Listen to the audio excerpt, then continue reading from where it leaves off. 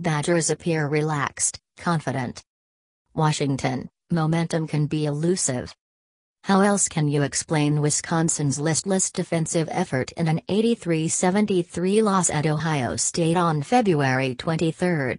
Remember that loss came four days after the Badgers snapped a two-game losing streak by rallying to defeat visiting Maryland by 11 points. Can second-seeded UW, 23-8, parlay its victory over Minnesota in the regular season finale into a title run at the Big Ten tournament? No one can be certain what will happen when UW faces number 10 Indiana, 18-14, in the quarterfinals at 5:30 p.m. Friday at the Verizon Center. UW swept Indiana, winning by 7 in Bloomington and by 5 in Madison, but the Hoosiers are a desperate team, likely needing to win the title to secure an NCAA berth. What is clear in the wake of the Badgers' 66-49 victory over the Gophers, who had won eight consecutive games, is that the pressure of failing has been lifted from the shoulders of Greg Gard's players. It is good to get that confidence back in all of us, senior guard Zak Showalter said. Going forward into tournament play, that's what we need. Hopefully, we can build on that. Last season UW snapped a three-game losing streak with an emotional home victory over Michigan State on January 17. That came after an ugly road loss to Northwestern left UW at 1-3 in the Big Ten and was the first of seven consecutive victories. UW's victory over Minnesota came three days after an ugly home loss to Iowa, a game in which UW blew a nine-point lead in the final 3 minutes 39 seconds and suffered its fifth loss in six games. UW seniors Nigel Hayes and Showalter, the two players who spoke with reporters after that loss, appeared stunned. When UW's four seniors, Hayes, Showalter, Vitto Brown and Bronson Koenig, met with reporters after the victory over Minnesota, the body language and mood were completely different. I thought we had more fun this game than we've had in a long time, said Koenig, who scored all 17 of his points in the second half. I didn't think we let anything get to us, turning the ball over, missing shots. Two images that illustrate Koenig's point remain vibrant and both involve Brown. Brown entered the day shooting 25.4% from three-point range in Big Ten play.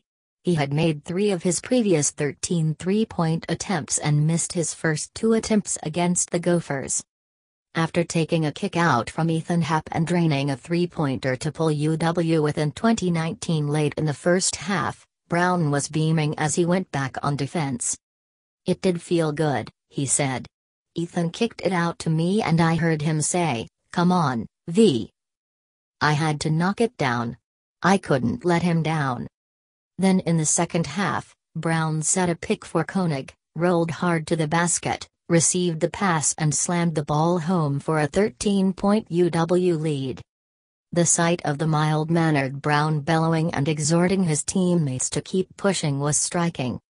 Brown's line, 5 points, 6 rebounds, 3 assists, 1 block and 1 steal, was a critical part of the victory. He was active, Gard said. He smiled. He was having fun. He was enjoying it. That's what we talked about. Relax and go play. I thought he did a pretty good job on the glass. He ran the floor in transition. He was just really engaged. UW's energy on defense was the constant against Minnesota. The Badgers shot just 38.7% in the first half before warming to 50% in the second half, including 80% from three point range, 8 of 10. The free throw shooting, 6 of 16, remained problematic. But UW held Minnesota to 32.1% shooting, including 23.3% in the second half, and 27.1 points below its season scoring average in league play. We were pretty good for most of the game, Gard said. The second half I thought we were terrific at times. The togetherness, the grittiness, that was us. That was us. That was as good as we've been in a long time. Perhaps most important, UW played its best overall game in weeks. The pressure of losing and answering questions about the losses, UW went 3 4 in February, was gone. It shows how good of a team we are, Hayes said. We lost damn near every game in February and still finished second. We must be doing something right. So when we play well, play together and do what we're supposed to do, we feel like we can be really good.